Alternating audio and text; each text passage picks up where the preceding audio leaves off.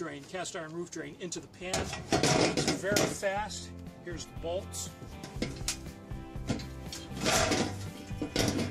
Stick the bolt here. Stick a bolt here for starters. Go ahead and screw on our screw the nuts on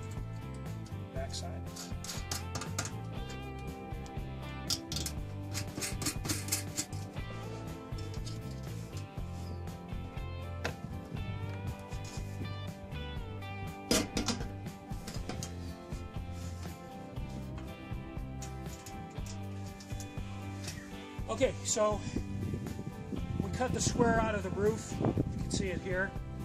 Fits the pan. Your drain's already connected. Set it down. Drain's in.